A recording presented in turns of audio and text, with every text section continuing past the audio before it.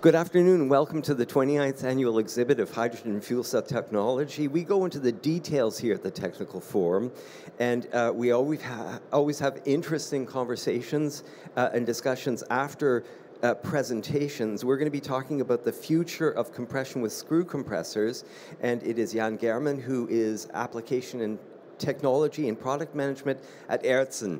Welcome, Jan. Yes. Hi, good afternoon. Yes.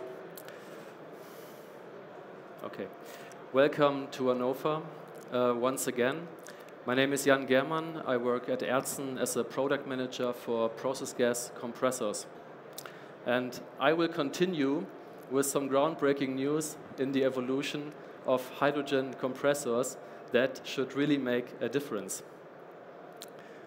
Of course, we all know about urgency and time to act in terms of uh, decarbonization targets. It is now up to all of us, equipment suppliers for H2, like we are, to really contribute in game-changing technology that enable both significant improvements for efficiency and footprint. Key question to break down into measurable results of product development is how do we achieve these targets and how can we rethink our tomorrow's solutions in a market ramp up already today. Sustainable CO2 reduction means replacement of fossil energies by renewables and of course the energy storage solutions. Therefore, it also means efficient handling of all utilities involved. The essential role of clean hydrogen has been evaluated by all relevant institutions and experts during the last years, and it became clear that uh, converting green electricity into gas molecules, at least up to a certain extent, is absolutely necessary. Um, gas molecules enable flexible sector coupling by using existing infrastructure and proven technology.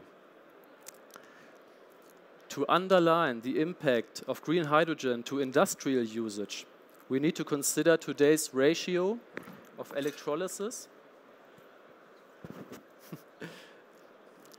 um, you know, the, um, the sources from fossil fuels still summarize on 96% as sources for hydrogen, but this tiny share of electrolysis is about to rise. It has started to rise, and that's good news for all of us. Our so-called no-regret um, industries or applications, iron and steel, petrochemical, um, oil and gas, um, will benefit twice by green hydrogen, by um, reduced CO2 costs for certificates and um, green certifications for products. So especially these consumers will further drive demand for green hydrogen and hydrogen-based derivatives as ammonia, for example. But uh, where are we now when it comes to hydrogen um, production and especially hydrogen compression? You might know that electricity consumption uh, accounts for up to 80% of an electrolyzer's total cost of ownership um, including the so-called balance of plants, which includes all the auxiliary equipments and the compressors.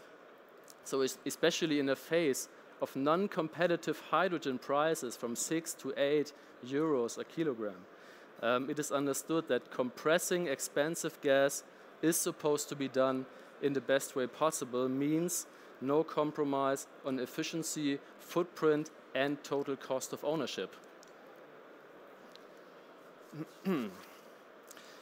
Some of you might know that uh, compressing light gases and especially hydrogen um, is a tricky task to do. And uh, you know, some or many positive displacement machines did not satisfy operators or maintenance staff in the past. In our today's context of uh, market ramp up of electrolysis, we see a lot of projects, um, an increasing number and an increasing power input for those electrolyzers. We see high differential pressures to, to be achieved uh, in a big variety of industrial end users and um, applications, like uh, Ms. Schilling, for example, ex explained. Plus, the requirement of 100% oil-free compression um, yeah, to ensure highest product purity in all these applications like fuel cells, food industry, storage, and so on. Did you know screw compressors have proven their ability in compressing hydrogen in many industrial applications for decades and years? You know, um, the compact um, design of screws enables small footprints and the absence of free mass forces makes screws working highly reliable on low pulsation levels. Um, but most important in this context, um, the operating window in terms of volume flows, uh, pressure rise, and um, partial operation dynamics absolutely fit large electrolyzers, state of the art, PEM SOEC um, especially those working at low pressure, at atmospheric pressure. The key challenge for screws to overcome in light gas applications has always been managing the efficiency losses caused by internal backflow, those tiny internal gaps.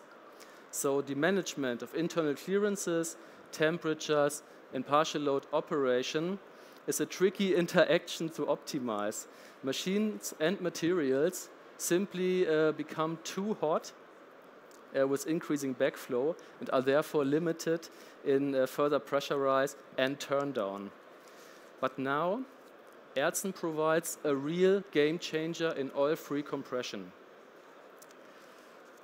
The new screw compressor type VRW ready to overcome yesterday's restriction in hydrogen compression.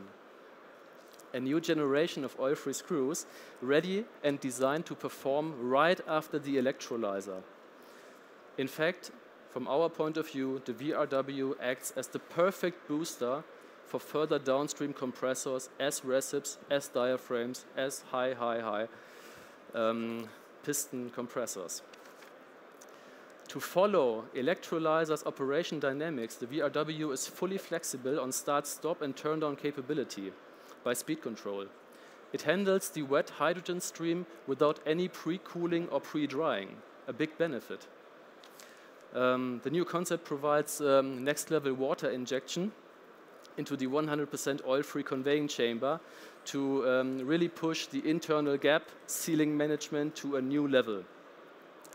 The result is a groundbreaking differential pressure at excellent efficiencies for oil-free screws.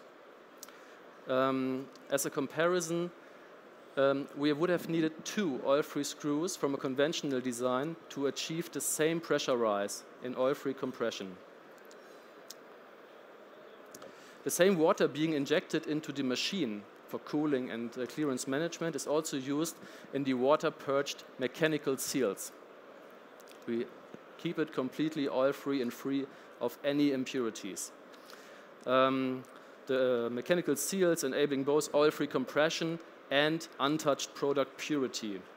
So um, we keep it oil-free. The already established speed adjustment uh, by VFD of, uh, uh, in combination with roller bearings and screws um, maximize the, the large control range following the electrolyzer from 100% load maybe down to 20 or so. Um, so ready to follow even state-of-the-art PEM or SOEC uh, operation dynamics. Plus, stainless steel materials of the hydrogen-touched parts uh, ensure persistence for uh, example PEM's low conductivity water output, which is quite corrosive but we want to supply a machine uh, being in operation for 20 years, not four or five years or so.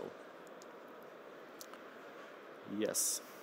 Our first size, 536, um, was designed to compress 6,000 cubic meter an hour, which equals to a 30 megawatt electrolyzer working atmospherically um, at approximately 1.1 to 1.3 bar. The output pressure of this single stage reaches at 10 bar abs at the battery limits for the very first time with oil-free screws. We have been limited in the past to 4.5, 5 bars in one stage, but now we make a difference up to 10 bar abs. Once again, two displacement machines were necessary to achieve the same pressure rise, same pressure ratio in the past. So our customers benefit from reduced complexity, reduced footprint, less compressor stages in oil-free compression.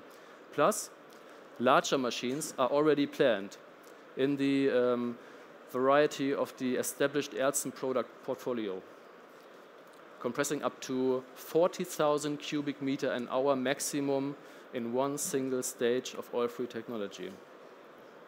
So as a solution provider of uh, green hydrogen, or for green hydrogen, we designed a scalable packaged unit showing that uh, water supply, water separation, lubrication oil, compressor and drivetrain result in a package not bigger than 8 multiplied 3 meters in total footprint.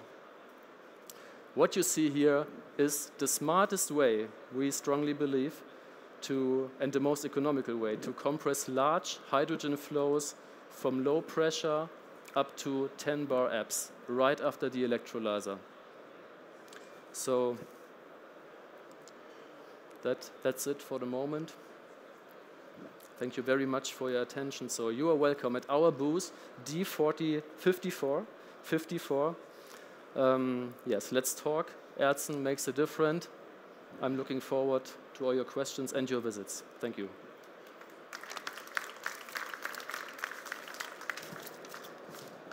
So we do have time for one question from the audience, if there is a question. Are there any questions? Yes, please. Please. So, just quickly about the, you said stainless steel that would last for 20 years exposed to hydrogen. Which one is it? Uh, which, which kind of stainless steel do you use? that's a that's a question I would love to answer in a in a deeper discussion for four eyes. So um, I, I, can tell you that our established um, uh, steel qualities um, um uh, don't uh, are not confronted with any issues due to the fact that it's a wet hydrogen in a low pressure range. Um, we have uh, compressed hydrogen for many many years, for decades, in similar applications. Um, right after chlorine uh, electrolysis, for example, um, so um, for the persistence or for any uh, embrittlement issues or so, we feel very safe even for long-term operations. You will never see a wear or an embrittlement of the hydrogen-touched parts, I guarantee that, in stainless steel. Uh, 54. So obviously, most of the questions are really uh, booth questions because you're going to go into detail. The booth is D54. Yes. Okay, uh, do visit Jan, uh, Jan Gehrmann there. He's from Aerzen and uh, screw compressors, obviously uh, a new idea in this field, or a technology that has been specifically re retooled for it, this it, field. It took a, a, few discussions to position them again, but uh, originally the operating window uh, still fits the electrolysis. Yeah, I, I actually I, I, can't resist. just the laws of physics suggest that pistons, you know, every action creates an equal and opposite reaction. Newtonian physics, pistons waste energy because you're constantly changing directions. I assume that there is some benefit of this uh, circular motion as opposed to pistons. That may not be the only benefit, though, I'm sure.